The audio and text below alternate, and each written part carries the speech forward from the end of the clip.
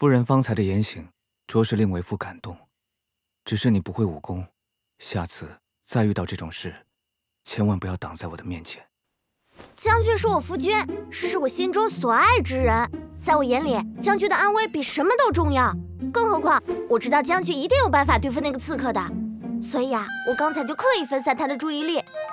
将军威武，果然一举将其擒杀。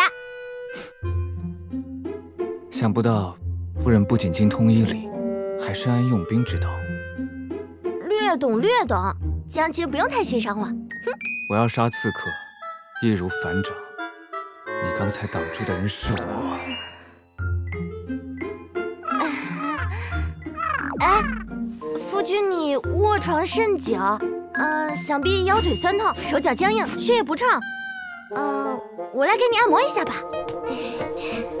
躺下，躺下。肩脚放好。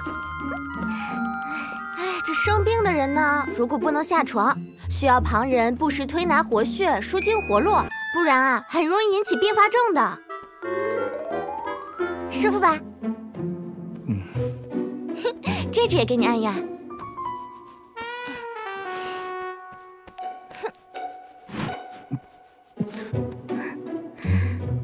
可以了。啊啊啊！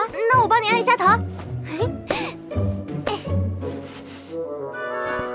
来喽！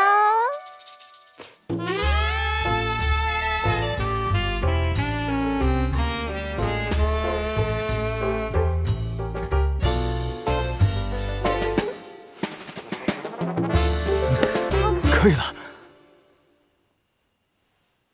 不，不必再按了。啊！可是我都还没开始呢。夜已深，夫人回去休息吧。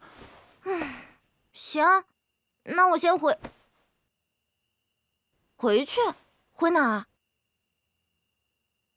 为夫内伤尚未痊愈，不宜与夫人共寐。夫人就委屈暂住东厢房吧。好吧。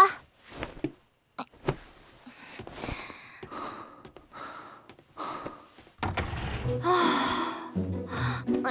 小姐，小蛮，你怎么老是神出鬼没的？吓死我呀！